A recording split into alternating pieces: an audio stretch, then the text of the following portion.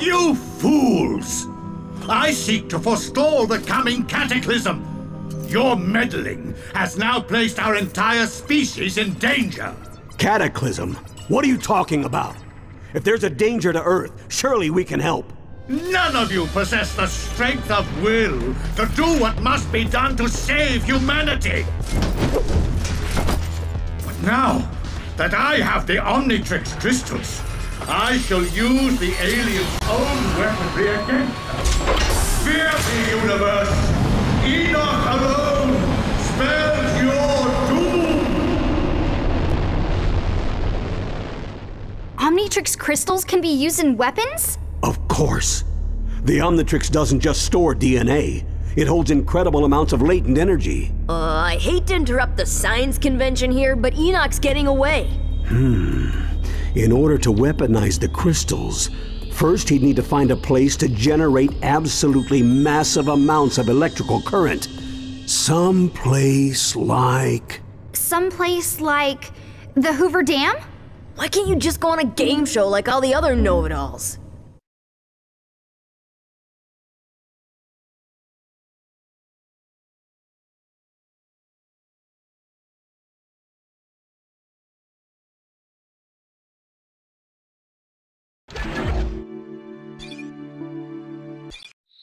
Does it come to this? The bad guys have run out of cool places to attack, so they just pick a giant concrete slab out in the middle of nowhere? Well, looks like he's not here. I guess the trivia princess loses again. No, he's here. He has to be here. Thanks for playing our show. We have some lovely parting gifts for you.